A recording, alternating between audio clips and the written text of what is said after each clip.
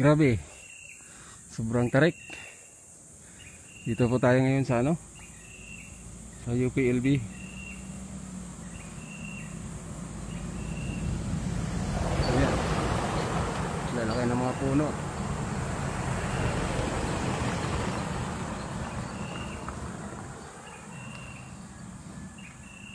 Malamig.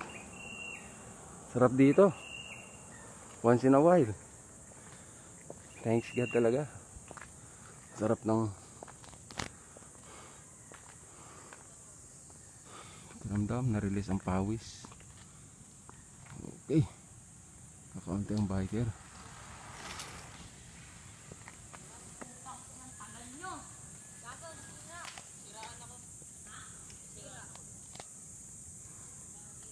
Laki ng puno. oh. May ganito sa mga lahat ng paligid eh, ba, malamig. Tsaka ano ang pollution. Minimize. Thanks God for the strength.